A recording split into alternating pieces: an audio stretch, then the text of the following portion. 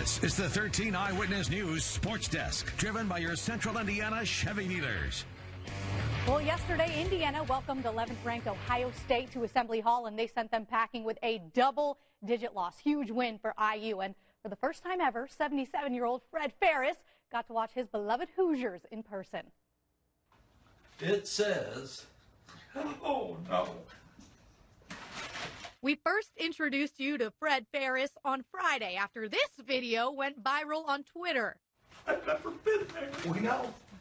For Christmas, Fred's daughter Michelle and her husband gifted him tickets to Saturday's showdown between Indiana and Ohio State. He grew up in Fort Wayne, has been a fan his entire life, but he'd never been to Assembly Hall to see his Hoosiers play.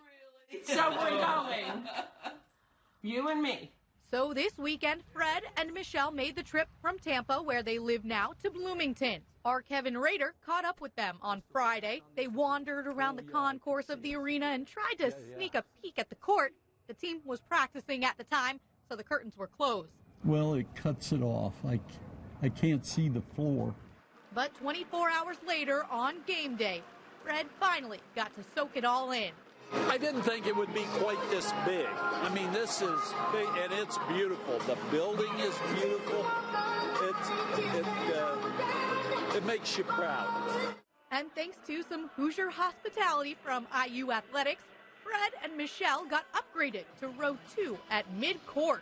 It's hard to grasp it, and when you've waited this long, it's uh, it's just overwhelming.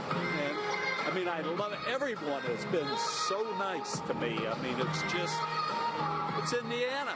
The smile on Fred's face says it all, his eyes welling with tears of joy as he admired every detail.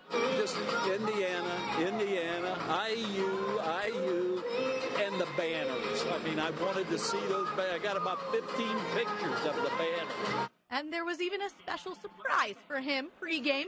They played that now viral video on the Jumbotron, and Fred received a standing ovation. To see it, you know, it, it, he's, it, it just kind of tongue ties you. You just don't know what adjectives to use, you know? So it's, it's just fun. I'm just so happy for him. So with Fred in the building, IU pulled off the upset.